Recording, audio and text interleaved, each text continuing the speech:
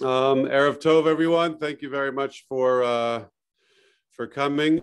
First of all, uh, I guess I don't know. I'm sorry, or full disclosure, if you were on the lower school meeting, I'm back, um, and I'm going to be uh, emceeing, I guess, and moderating tonight. And some of the things that you will hear are things you've heard uh, in the past. We're going to talk about some school-wide um, school-wide policies and plans, but we're also going to really, we are going to focus, of course, on the middle school. I want to start um, with, uh, I'll, I'll, start screen sharing in a second, but just to, to talk to people for a moment first.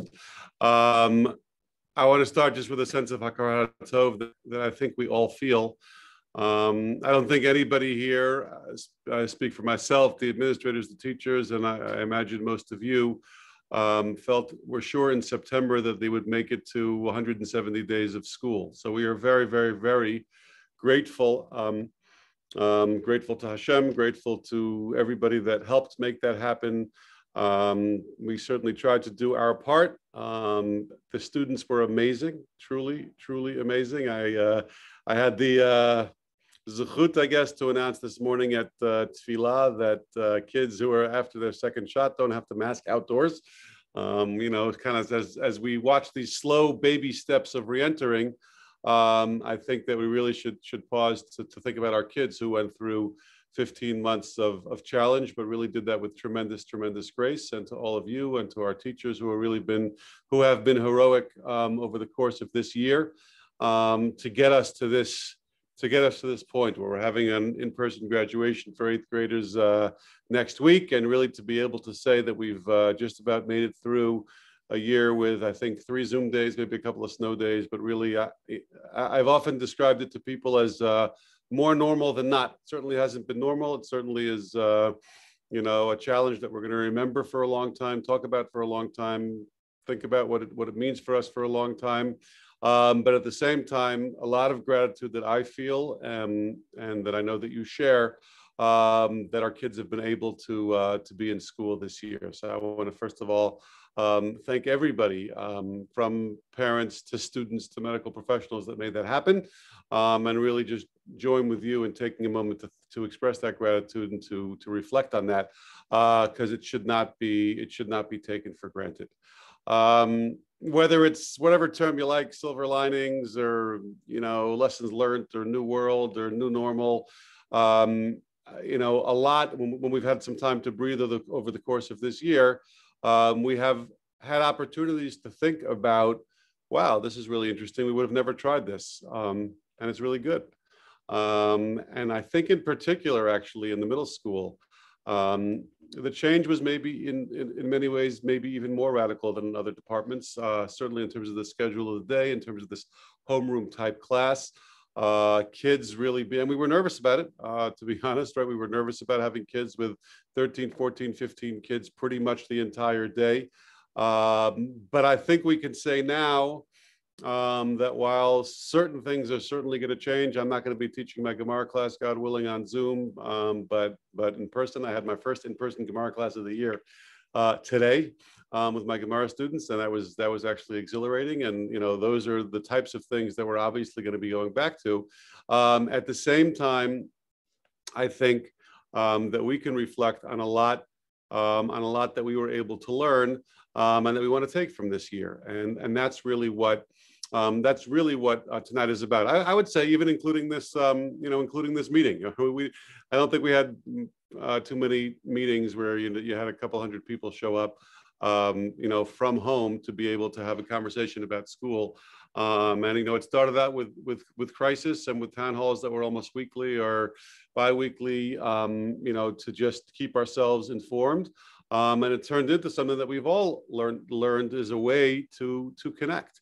Um, so a, as one of many examples in terms of things that we that we can, can be thinking about in terms of what we learned from this year and how we want to structure the uh, the the year to come. It's 8.07. I am hoping that this meeting will be over by 8.45 just to kind of manage expectations, perhaps, perhaps a little bit earlier. Um, I want to go through some things that are school-wide, most things that are middle school-wide, and, and pass it over to Rebecca for much of this meeting.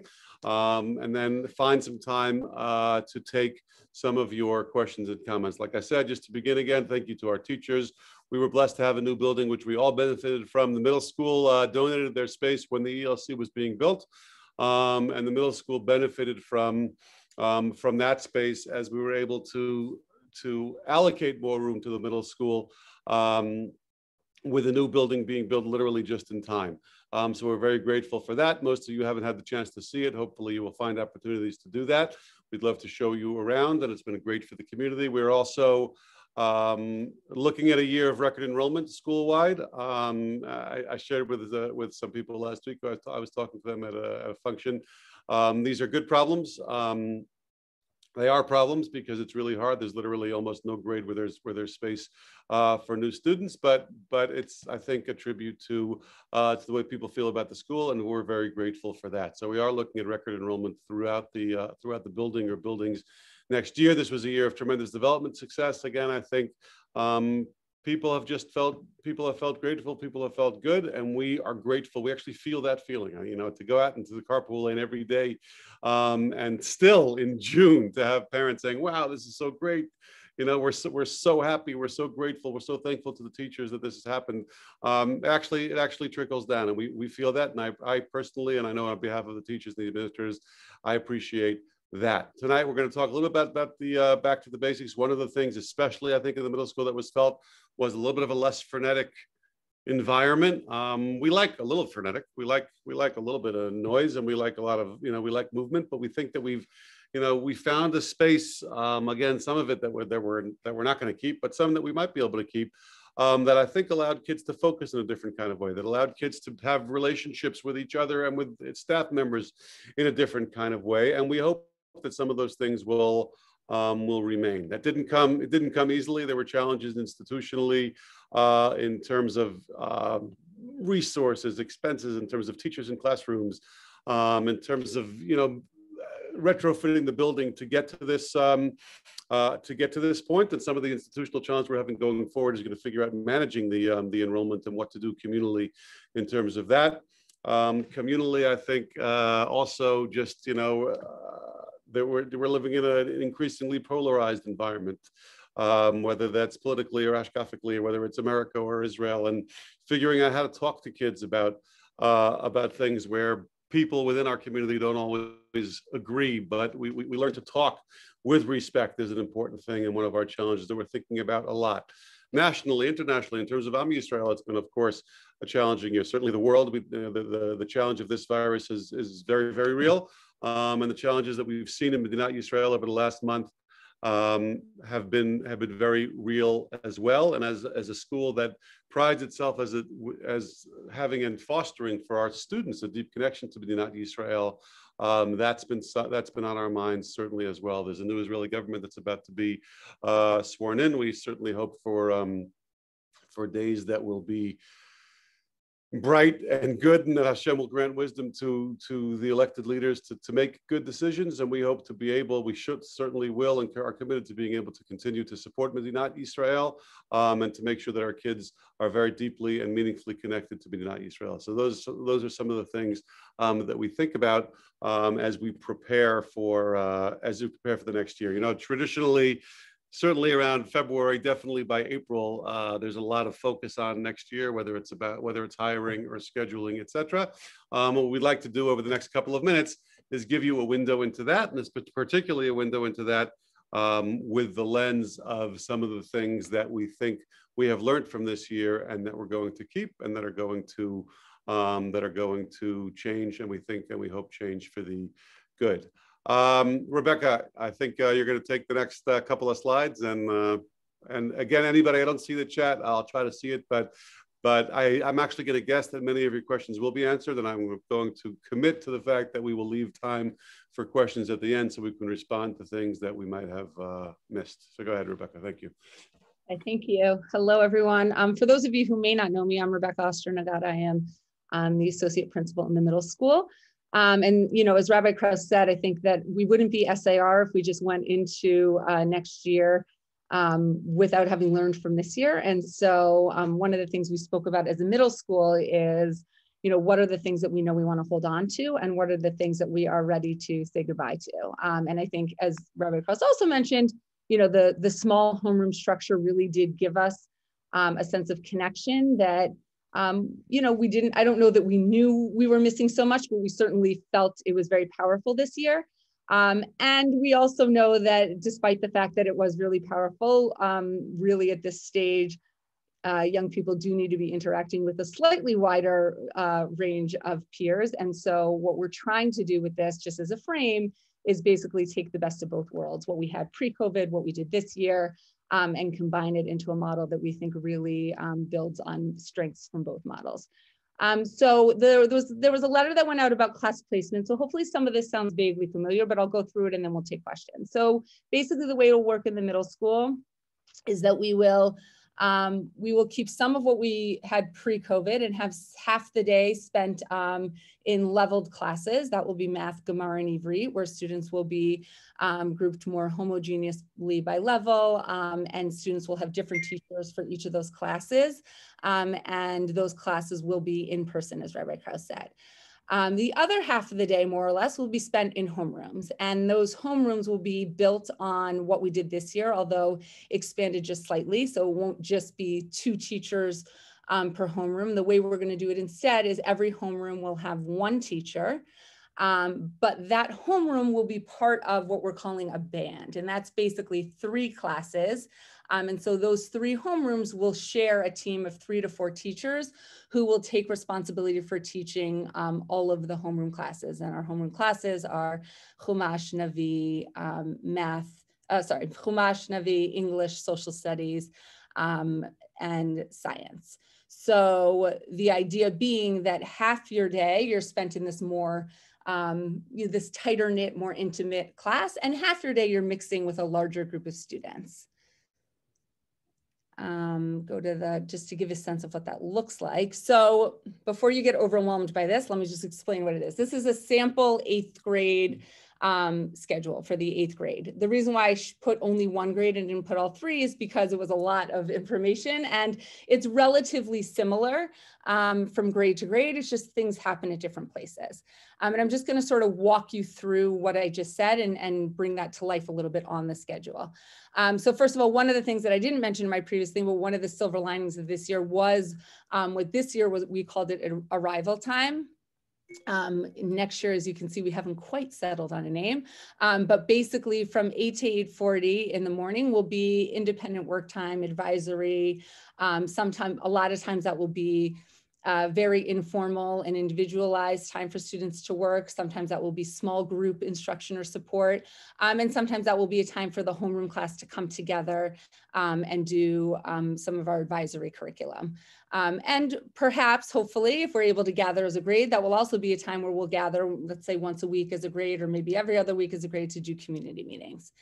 Um, from there, the students go into tefillah, which we are hoping um, will again be by grade. Um, and so and so the first part of the day is really spent the, the first chunk, the first half hours with your homeroom, and the second part you're um, hopefully interacting with a larger range in tefillah. Um, then we go into sort of the homeroom portion of the day. I'm going to have you look at just this light blue column here. Um, and I'll explain why there's two columns in a minute. So basically you can see this light blue column and that's that's three of the homerooms in sixth grade. They're gonna start their day in um, STEAM. That's also something new we're introducing this year. So we're gonna, we're building in, um, we're building in twice a week for every class, a um, STEM or arts period, and that's going to alternate over the course of the year. You'll hear more about that later. Um, and then this big chunk of time will be homeroom classes, and that time will be divided. So sometimes that might be Chumash, sometimes that might be English, sometimes that might be social studies. That'll alternate, and all of these homeroom slots will alternate. And um, and again, the teachers from the three or four teachers making up um, that team of teachers will teach that. So you will be taught Tanakh by a Tanakh teacher and you will be taught English by or humanities by a humanities teacher. Um, but it will be a small group of teachers who know, um, who are working with a smaller group of students. Um, this is, I don't know why lunch got deleted here, sorry, but then um, we go into a, a nice long break, 11.50 to 12.50, that's gonna be lunch and recess um, and what we call in the middle school office hours, which is an opportunity to meet um, individually with teachers. Um, so giving students a good long break in the middle of the day. And again, God willing, that will be grade wide and, and students will be able to mix. And then you go into, with the exception of last period here, you go into what we were talking about, sort of the leveled portion of the day, um, where students will have math, Gemara, and then Ivrit.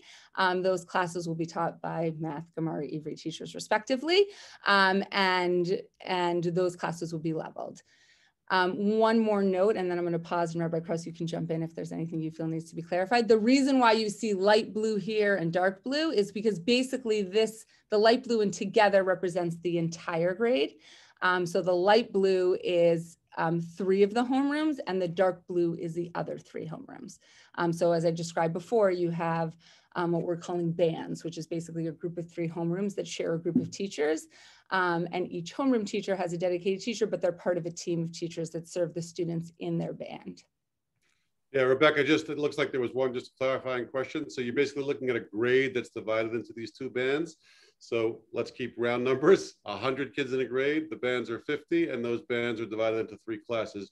Those three classes are gonna have a team of teachers that are, that are interacting with that same group of or you know that group of three students in different kinds of way. But the team of teachers will be humanities teacher, Tanakh teacher, science teacher, etc. And then they're going to have these um, these I guess departmentalized classes, right? Math, Gemara, and Ivrit, um, where there'll be other teachers, not not from that group of you know, teachers in the band, who will be who will be working with them. So you're basically looking at two, right, six classes within a grade and two bands within those six classes. We can go back to it um, a little bit later. Somebody also asked about the staggered arrival time. It's a, it's a question that, you know, is still, you know, we actually thought that, you know, part of this less frenetic pace of the day actually started in the morning. It's also why tefillah is not at the beginning of the day. We think it's important to start our day with tefillah, but we also found that actually, you know, kids coming in, but, you know, five minutes late, 10 minutes late, etc., and coming at to tefillah at different times and not necessarily being anchored before they get to tefillah was less healthy. And we found that, that actually the, the pace of the of the kind of getting into tefillah, starting the day, going to tefillah, for, for many kids at least, um, was something that we liked. And therefore, you're kind of going to go to your classroom, get anchored. It is, it's not exactly a staggered arrival. I think it will be, I would call it a loose eight o'clock. So between eight o'clock and 8.10, certainly by 8.10, we would expect everybody to be uh, to be in classes. Um, and and then again, like I said, you know, tefillah going out to tefillah at eight forty-five. Um, Rebecca, can we go to the next slide? Yeah. Yep. You want to talk about this a little bit?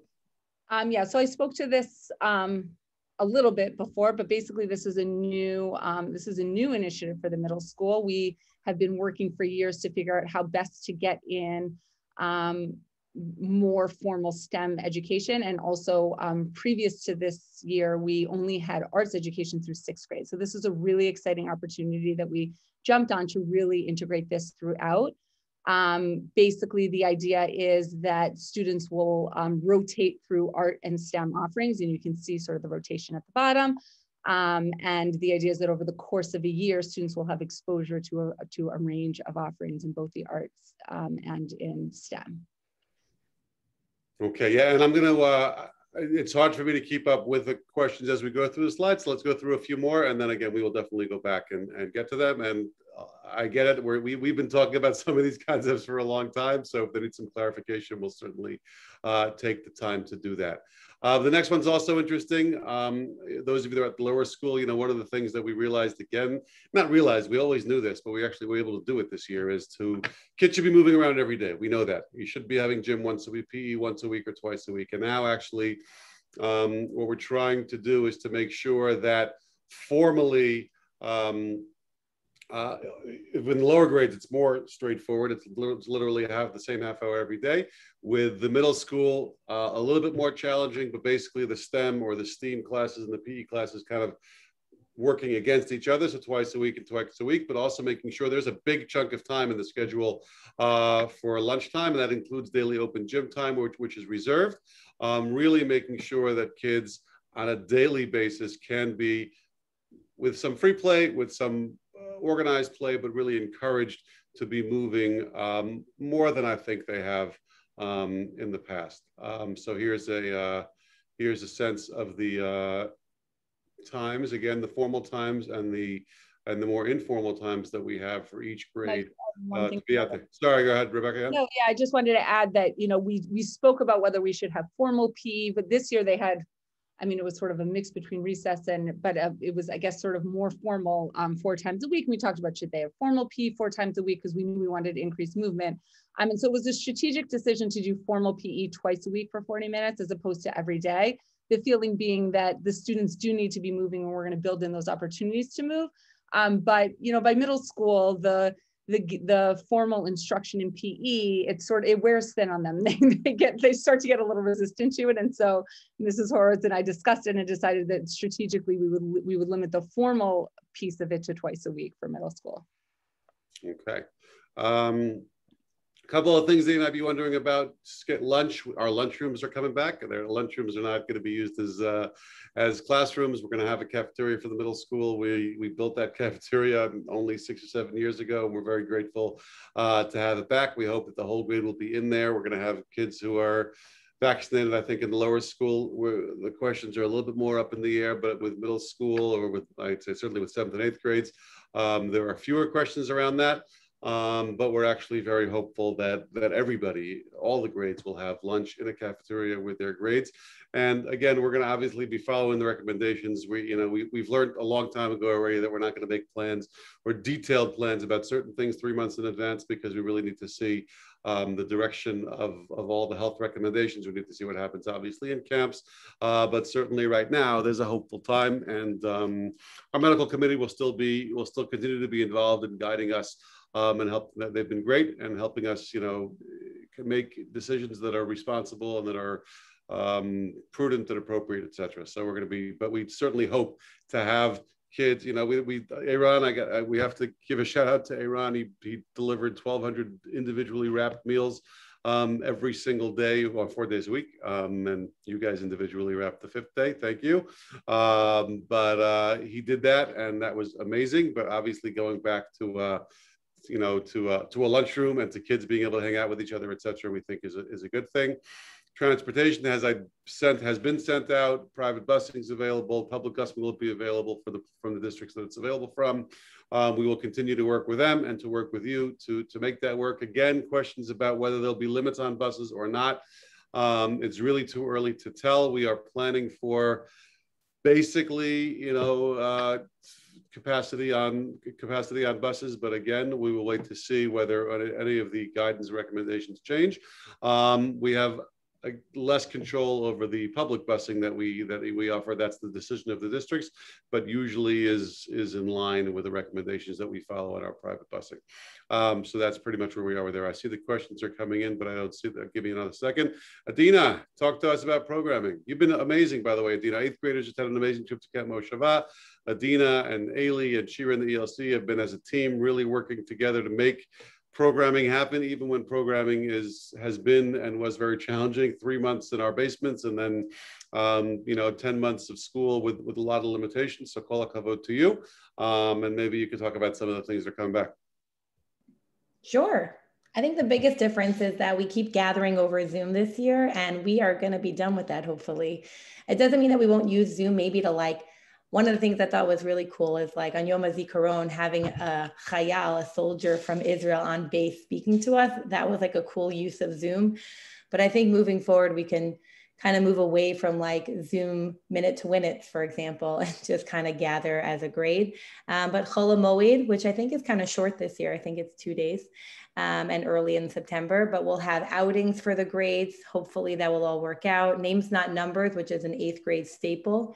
Um, we'll meet um, again, not over Zoom. Hanukkah will be exciting. Um, programming for the grades. We've had um, eighth grade, um, in, like a intergenerational kind of event where uh, family members, extended family members can join, and hopefully we'll be able to have family members come into the building um, Adar excitement, dressing up and actually getting to see everyone in the grade and what they wear and different exciting. One thing we used to do is have teachers switch and teach in different classes. Um, so you might have like an eighth grade teacher teaching nursery or vice versa. Um, and that wasn't so feasible this year, but I'm hoping to bring all that stuff back. Um, and something to speak to what Ms. Ostro-Nagata said earlier, where we have the STEAM program um, this year that will kind of be moving away from the elective program that we've typically had, um, but keeping some of the staples in the elective program. So all the STEAM elements that existed in the elective program will exist in the STEAM section um, and other clubs kind of things like yearbook and debate um, names not numbers those are things that we're going to find time for in the day. Names not numbers needs its own slot but things like yearbook or debate can have time during lunchtime and other things that might come our way. If there's a group of students who wants to learn sign language and they, will meet during lunchtime once a week to really capture that or and we're going to have a lot of um, optional learning opportunities that existed in electives. And I think Zoom actually might be a good way to continue uh, to use like you want to learn Parsha on Thursday nights with Rabbi Moskowitz, that kind of learning can still exist um, on Zoom or in person, and we'll play with those um, things. And trips, overnight trips, and Shabbatons, right? Ms. Ostro-Nagata, Rabbi Krauss, we're really going to try uh, over the summer. We'll think and plan to figure out how that looks next year, but we're really hopeful that those um, can happen. And just coming off of the eighth grade trip, like I don't know, it gave me chills. It was really exciting. And th- that's what I want to do in my job. And to not have done it this past year was hard. And to see the eighth graders really be a grade was incredible. And I'm excited for your children to have the opportunity next year. Okay, thank you. We are looking forward to it. Josh Rocker says to everyone, five days a week of movement is wonderful. So now it's official. It's, the medical committee has. Just tell it. What? Okay, sorry about that. I thought that was I don't I don't like to talk when Josh is talking. I thought that might have been him. Okay. Um, we will get back to the other questions in a second. Hold on. Uh, yes, these are these are really TBD because that's the truth, right? I just put the two bullets over here. Vaccination policies. I will tell you the direction that we're going in. Um, we would like everyone who can be vaccinated to be vaccinated. Um, I, you know, that's the direction that we're going in in terms of our policies for staff, for students. Um, but again, it is first of all, it hasn't been approved for under 12. Um, I think that we are over, well over 80% for the kids who could have been vaccinated. We're very grateful to the UJA and to the pharmacy that we, ESCO Pharmacy, that we were able to partner with to make that happen very quickly. Um, and, uh, you know, and that's where we want to be. That doesn't mean that there is not ever going to be a potential exception. That is something that we're going to have to work out. Frankly, both you know what, what what's what's legally appropriate and then what what's communally appropriate. But we are the, the direction certainly certainly is in our medical committee, and I think uh, generally in the community, what we want is we want that we, we believe that these vaccinations are important and we want everyone to be vaccinated to make the community a safe place and the school um, a safe place to be. The right, the $64,000 question or whatever we're up to these days is uh, uh, what happens when kids are big for the kids who are unvaccinated? That's a big ELC and lower school question. Will there be masking and distancing still in place?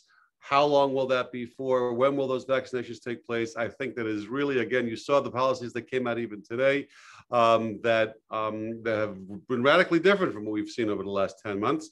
Um, but first of all, for the next seven days, we've made a decision not to, not to make too many changes um, and to and to start, you know, guessing about where we're going to be three months from now is is a waste of everyone's time. So I'm not going to do it. Um, but the direction is that we would like to have as many people or, or all of our people uh, vaccinated if possible, and then to have really, you know, if necessary for medical purposes, you know, individual conversations with those that that think are, are, unable to or think that they can't. So that's pretty much the direction that we're that we're going in. Zoom is a tool that we have found um, that we have found useful. Um, like I, I think I described to you earlier, um, it was exhilarating to teach my Gemara class for the first time on um, in live, and that's certainly not something that we want to use, um, you know, as an educational methodology, so to speak. So that uh, certainly the the departmentalized classes that were on Zoom needed to be on Zoom this year, but we're obviously moving away from that. Um, at the same time, you know, we've learned that you can gather uh, a couple hundred people for a meeting. That's important. You can have parent-teacher conferences. That was certainly uh, the anecdotal uh, evidence, you know, the, the certain the feedback that we've gotten anecdotally has been that um, um, that people like those conferences on uh, on Zoom. So there probably will be at least a Zoom option for parent-teacher conferences. We're going to send out a survey shortly uh, to ask you some of these questions in terms of just what people what people want. Uh, but we do think, and frankly, also when a kid is home, not when a kid is really homesick. If you're homesick, you should be homesick and you should get better. Uh, but if you're home uh, recovering from an illness, if you're home because you have to be home, uh, but you want to learn, you want to learn Torah, you want to learn English, then then then we should you know find opportunities for to to be able to do that now that we know those opportunities exist. So so that's going to be, that doesn't mean that people could take two week vacations and that makes it harder for their classmates and harder for their teachers to teach. Um, so that's not what we're talking about. Just, you know, kind of, you know, a more flexible schedule for students in school. We think that students should be in school in person, but we think that obviously there is a place for Zoom, whether it's for meetings, parent teacher conferences, class-wide meetings, other kinds of things, and and learning when necessary. Those are things that we're you know continuing to kind of um, to, to keep in mind as we plan for the year. I am going to now uh, try to look through some of these questions and try to, uh, to, to respond to them. And then of course, take your questions and comments uh, over the next um, couple of minutes. And I think we have there were a bunch of questions about who teaches what. So let me just go over that really quickly. And I think um, it was a little confusing. So um, first of all, there was a few questions about science as well. So first of all, every grade in the middle school, six, seven, and eight, has dedicated science classes in addition to the STEM periods. That is not a replacement. Um, so students will have um, a science period approximately three times a week. And then in addition to that, they'll have the STEM program that we discussed. So that that's um, those are two separate things in all three grades. Um, in addition to that, and there was questions about who will teach that science class and who will teach the Tanakh classes. So basically the shift from this year to next year is that classes will be taught um, by the teachers who specialize in that area. So science will be taught by a science teacher, Tanakh will be taught Tanakh teacher. Um, English and social studies will be taught more or less um, by the same teacher. In some cases, that's not true, but by a humanities teacher.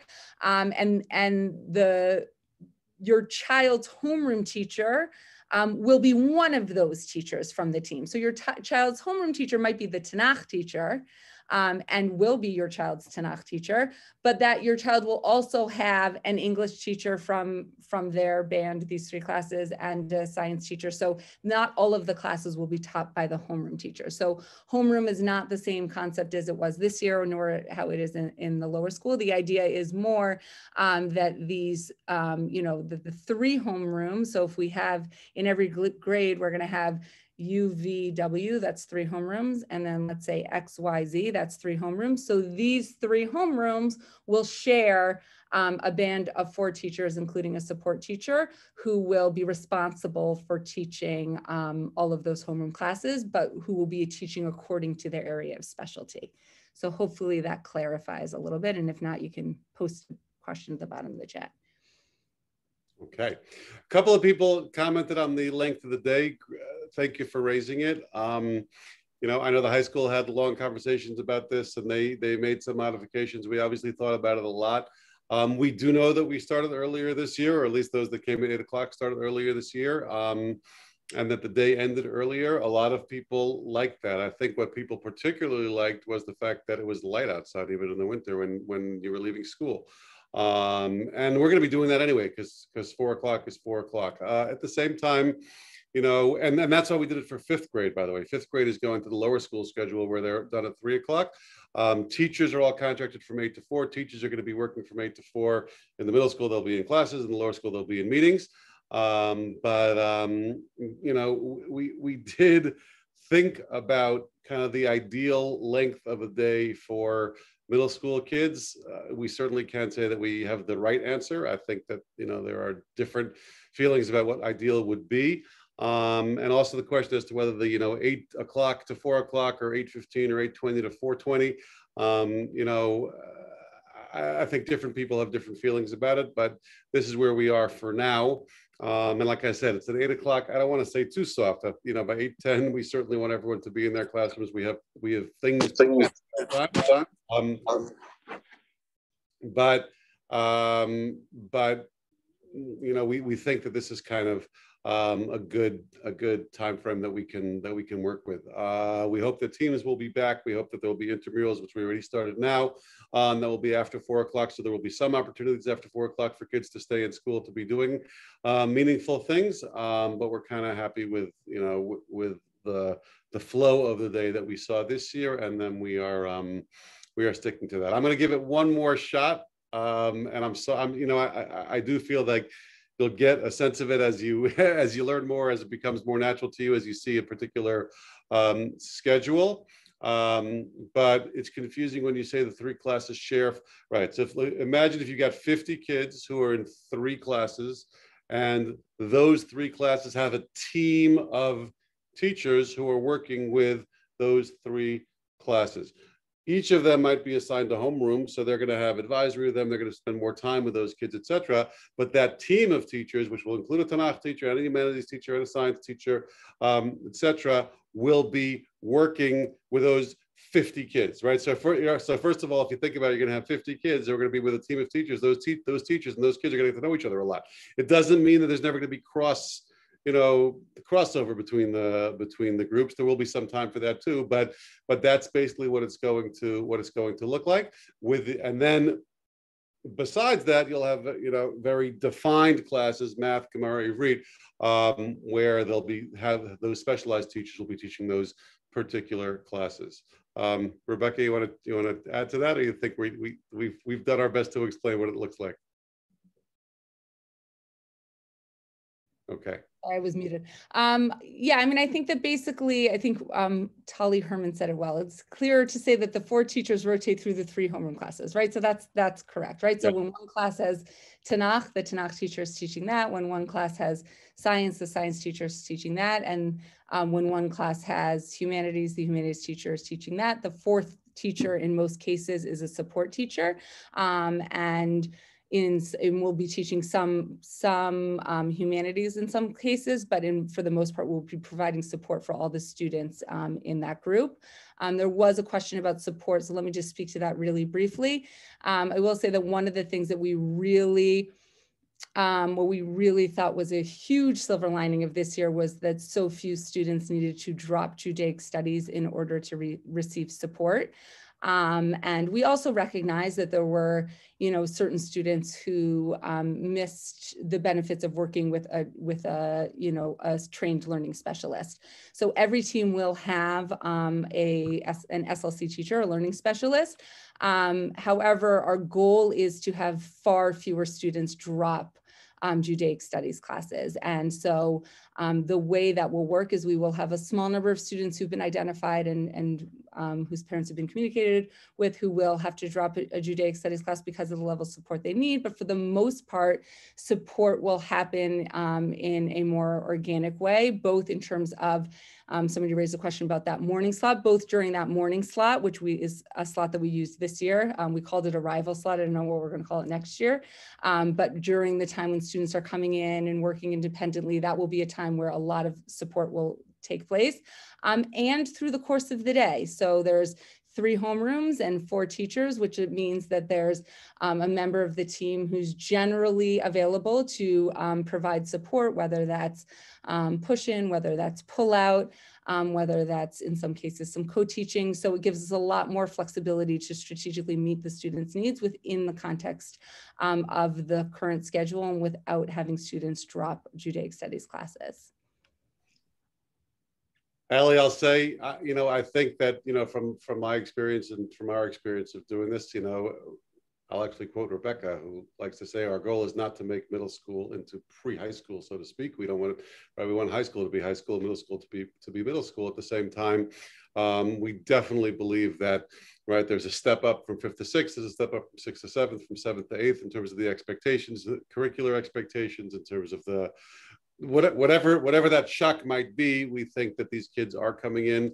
Uh, that doesn't mean that that ninth grade is not a transition. Ninth grade is a transition. It should be a transition, uh, but that our kids are prepared for that transition, and you know, and I have confidence that they will continue to be. This is also not again. I don't know if the question is coming from kind of a right. This is not you know extension of the lower school homeroom model to the middle school although there was a lot of good to that too but that's not what this is um, this is a little bit of a hybrid. I think what we're trying to take is there was a lot of good to the fact that you had I like to believe that we always had teachers who knew kids and who had relationships with kids, but that you had a certain level of focus between a group of teachers and a group of kids, and that's a, a big part of what we're trying to keep some some semblance of. Of course, we're also trying to keep, uh, you know, specialized teachers working with working in their subjects that they like to teach and that they're they're experienced teaching, of course, and that's that's an important part. That's an important concept as well. But that's kind of what we're what we're trying to to get here with this mix of a homeroom type of class and the specialized classes. Although, as you heard, even the homeroom classes don't mean that you have the Tanakh teacher teaching you math. It means that you've got this group of teachers working with each other um, with a group of kids. Um, I'd like to be true to our time. Miriam understands Miriam, sorry, you want to answer that, Rebecca? Yeah. Miriam understands the way the schedule works. Yes, so the, the students from each band won't interact during class time, although um, we are hopeful that um, tefillah and lunch and recess um, and other school-wide programs will be grade-wide. Um, but for the purposes of classes, it will um, only be the, um, the number Rabbi Krauss keeps using is 50, so it'll only be the 50 students within a band. 48. Yeah, it should be closer to 48, but. Okay. Oh, before we go, we want to show you something. So uh, thank you very much for your time. We really look forward to continuing this conversation with you and working with you. First of all, thank you again for making this a great year. This is a wonderful partnership that we all feel. Um, and uh, a little bit of a taste. I think we're about to get a little bit of a taste of what uh,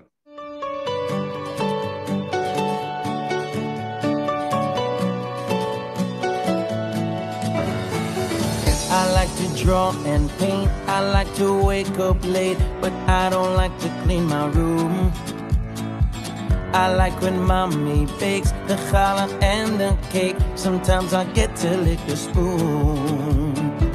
I can get up and stand if someone holds my hand, then I can walk along my way. I like to talk to you, and when you listen to whatever I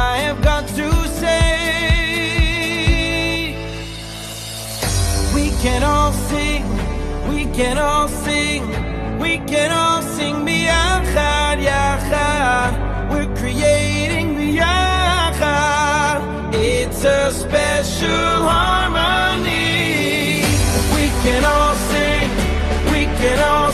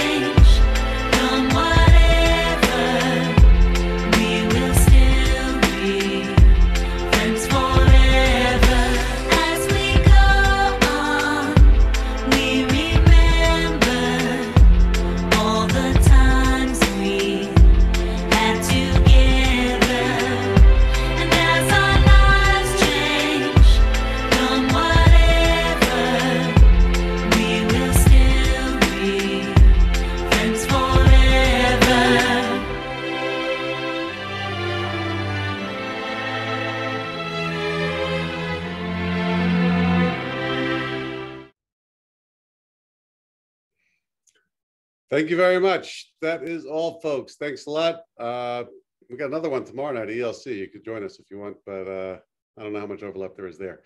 Um, thank you again. Have a great night, and we look forward to continuing to uh, to work with you and to uh, and to work with your kids. Thanks a lot. Thanks, everyone. Have a great night. Good night, all.